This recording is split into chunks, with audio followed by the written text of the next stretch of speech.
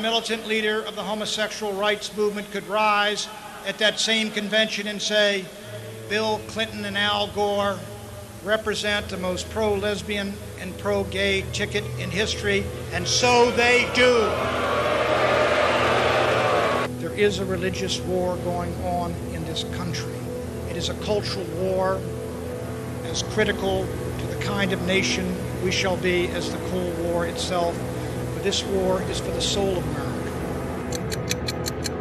After a wonderful experience at Drag Story Hour, we have several hundred kids, parents, and grandparents, and his dad comes up to me in tears and says to me, Thank you for showing me that my child has a community.